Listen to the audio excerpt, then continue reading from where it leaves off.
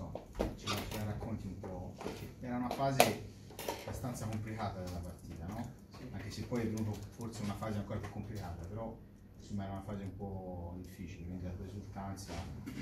Sì, è stata una parata, sì, eh, vedendo il risultato finale sicuramente determinante, sono contento, ma al di là della mia parata il merito veramente oggi va a tutta la squadra che quando c'è stato da soffrire ha sofferto tutti insieme, oggi era molto importante portarla a casa.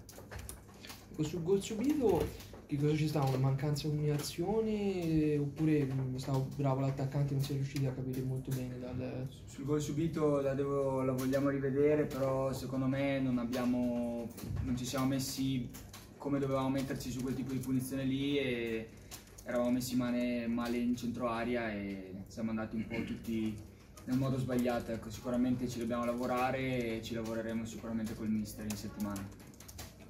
Sartor, complimenti per i gol, per i due gol, raccontaci un po' la dinamica di tutte e due. Grazie. Eh no, il primo è stata una punizione. Il compagno ha preso la traversa e, e io sono andato, andato a saltare con, con l'avversario, l'ho preso di testa e la palla è entrata. La seconda Marco ha fatto un'azione straordinaria, e l'ha messo al mezzo e, e mi è rimasto a me.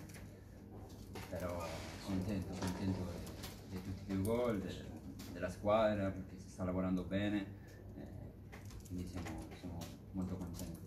C'è già un'intesa con, eh, con i tuoi compagni lì davanti.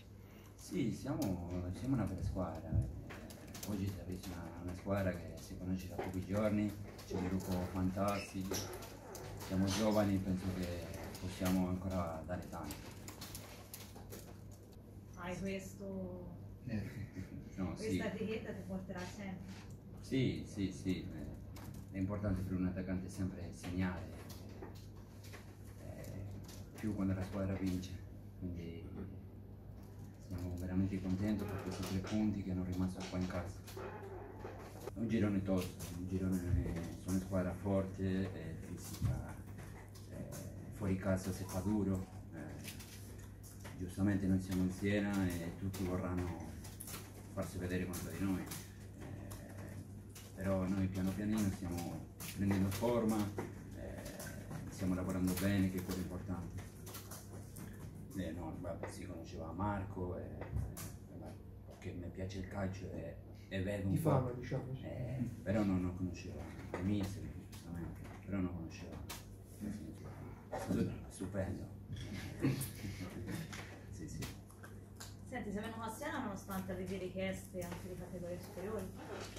Sì, eh, però è stata una scelta, una scelta mia, penso che una, una società importante, eh, una squadra importante che ha fatto la Serie A e quando mi hanno detto che c'era questa possibilità ho detto subito di sì.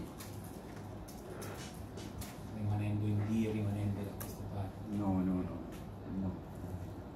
E te volevi andare in C dopo Io volevo fare un'esperienza in Serie C, ma dopo ha successo tutto quello. Sì, sì, chiaro.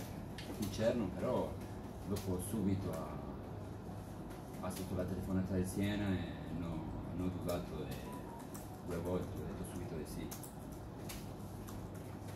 Sì, è stato il primo sì, sì, a, a ricevere la chiamata e anche io sinceramente non è che ci ho pensato più di tanto, devo dire la verità. Mi hanno chiamato comunque si sono fatti avanti comunque la società e i dirigenti, ho, ho accettato subito senza il minimo dubbio.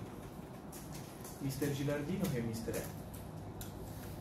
Per tutti e due, sì. Ma è un, è un mister con tanta voglia di fare, una grinta incredibile che ci trasmette tutti i giorni, lui e anche il suo staff, ha un'umiltà pazzesca, assurda veramente, quindi ci sta veramente insegnando eh, come ci vuole in campo, insegnando calcio e dobbiamo solo che, che lavorare durante la settimana e apprendere quello che ci dice perché abbiamo solo da imparare.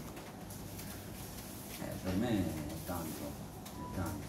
Eh, sono arrivato qua da quattro anni in Italia che oggi avere il mister che ho, eh, che ha vinto assolutamente tutto, lui è attaccante, averlo, trattare di, di imparare tutto di lui, per me è molto importante. come compagno, ha un'umiltà, eh, uno che ha vinto così tanto, oggi con noi a Guai